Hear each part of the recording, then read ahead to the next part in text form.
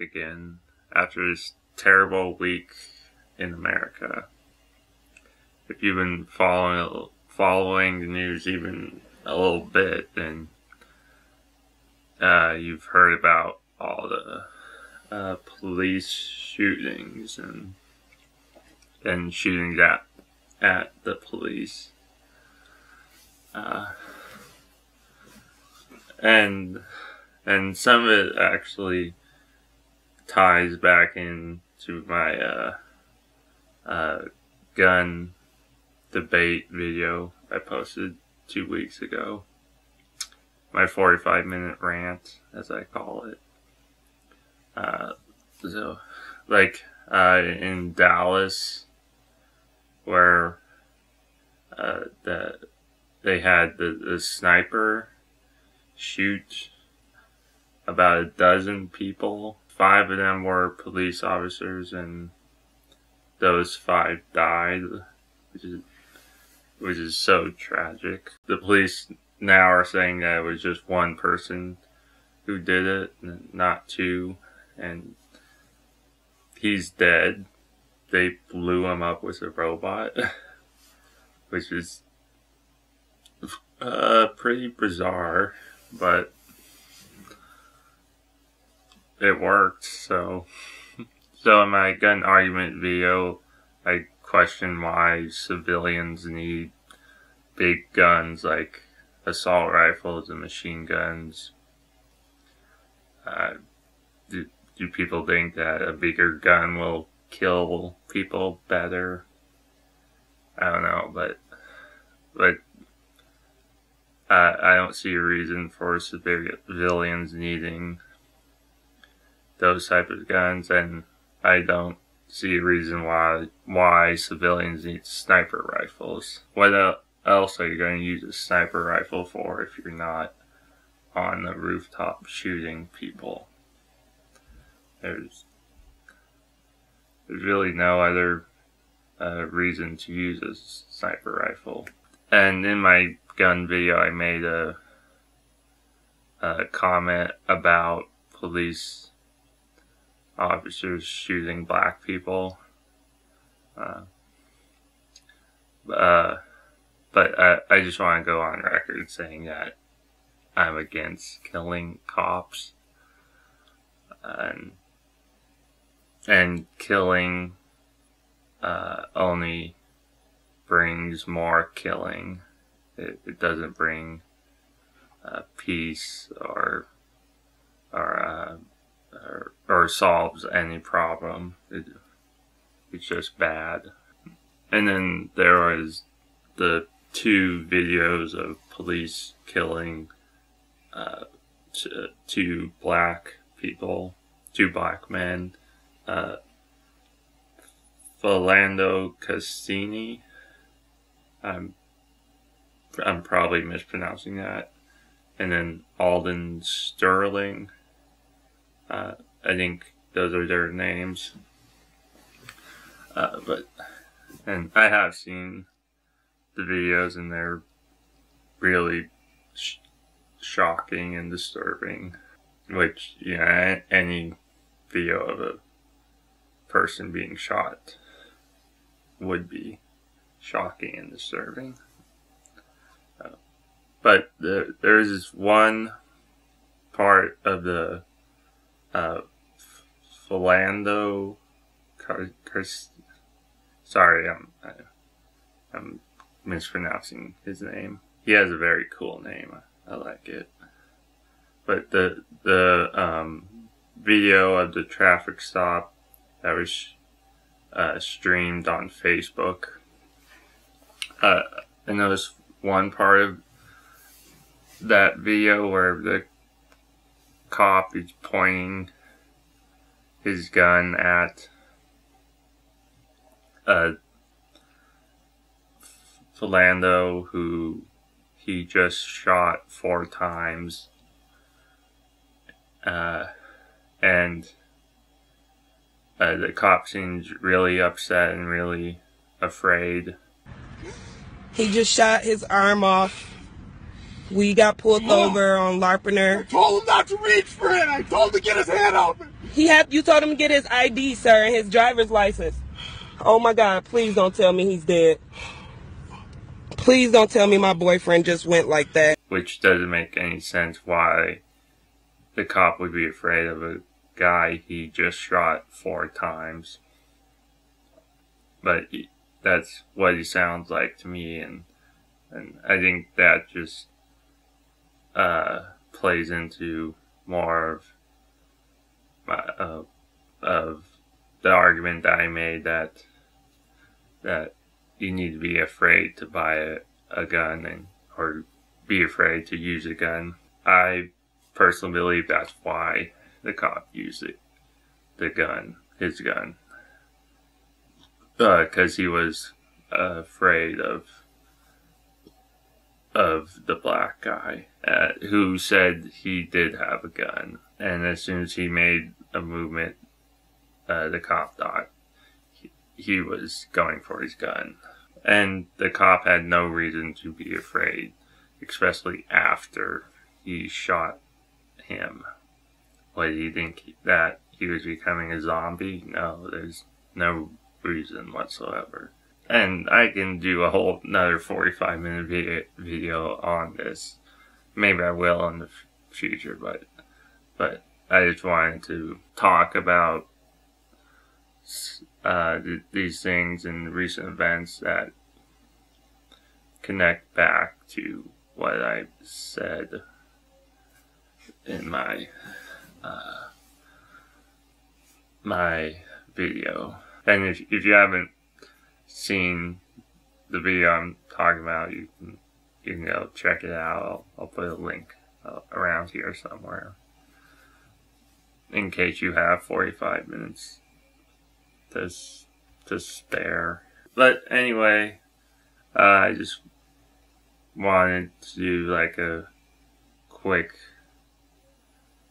uh, update video. But I'm am trying to move out of my parents' house. I have been looking online at apartments and, and also writing down names and phone numbers of other apartments. I see um, just driving to to work or driving around town that they say they have open uh, availability. There is this one apartment. Uh, it's not too far from where I work. Uh, and there's an open house this Tuesday that I'm gonna go to and check it out and ask questions about it.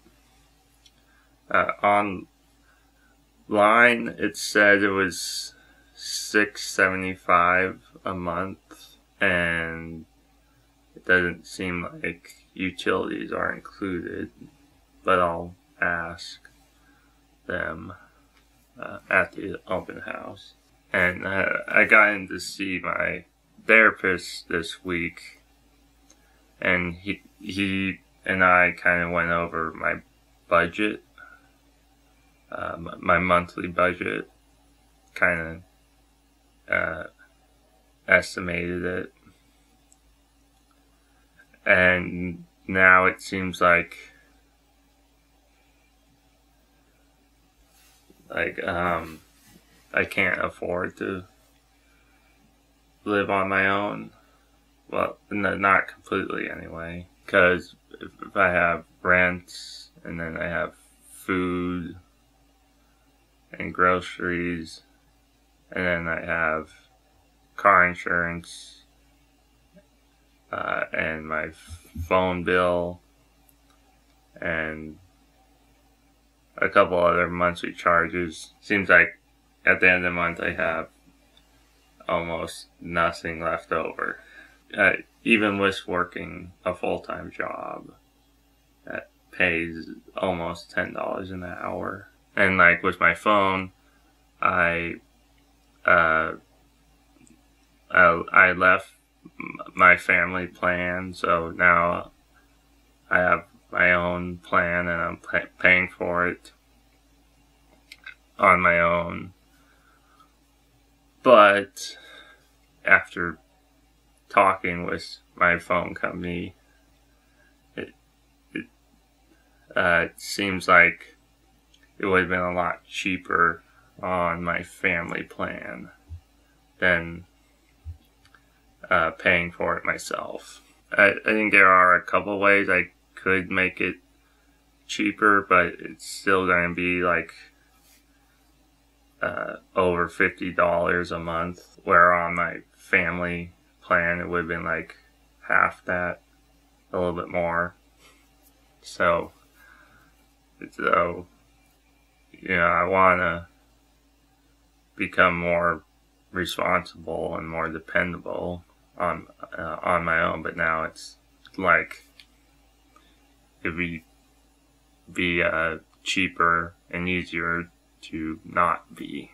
But I really need to sit down and do a real budget uh, uh, about my. Uh, but I really need to sit down and do a do an actual budget uh, for all my expenses, not just like do uh, an estimation on it, but but like I did with my therapist. But it, it seems like I can't afford an apartment that's more than seven hundred a month. I'm making roughly twelve hundred dollars a month from my job. Uh, about that. Six hundred is half my income, but I really haven't been able to find any apartments that are less than six fifty a month uh, where I live. And if I move out of town to a, a cheaper, uh, a cheaper city, then I gotta spend more money on gas to get to work. So so I'm not really saving much more money if I'm spending it somewhere else. So, yeah, all this stuff is adding up and and then taking money away from me. I I do have a lot of money saved from my other jobs which is good, but I kind of want to save that for like emergencies only, or maybe fund a movie uh, that I make. Use it for something, uh, something big, rather than just everyday expenses. That's what I want to do with the money. Uh, I guess I just gotta keep looking, hopefully find something that I can afford. I mean, the good news is that at my job, I am eligible for small raises after I work uh, a certain amount of hours. It, it is small, like less than a dollar. And yeah, I think you have to work like 500 or so hours. So that's a little bit of good news, but still, still gotta keep my expenses down as much as I can. So, yeah, life can be ironic sometimes. And I don't know if I should say that after I was just talking about uh, the death of seven people at the beginning of this video. So, so yeah. that, yeah, that's really all I have to say. And until next video, see ya. Hello again. I just had one more thing I forgot to say in the video, and that is the Dallas Police Department uh, was making good strides in working with the community and bringing down uh, complaints against the police department So this sniper attack makes even less sense. Not that it made sense before, but the Dallas Police Department was doing good work with the community, and that's all. Goodbye.